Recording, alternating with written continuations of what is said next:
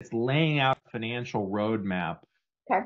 for your firm and for for yourself as the firm owner.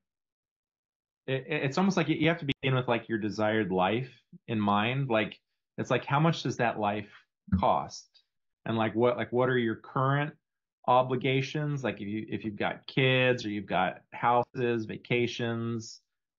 You know, I, I've got a law firm client who they've got a nanny that they pay to help them out with stuff. So, and then it's it's thinking about kind of today, what is the life you live cost? Like, what does your firm need to provide for you? And then it's also tomorrow, like, what do you want to do when you retire or or just maybe not having to work as hard?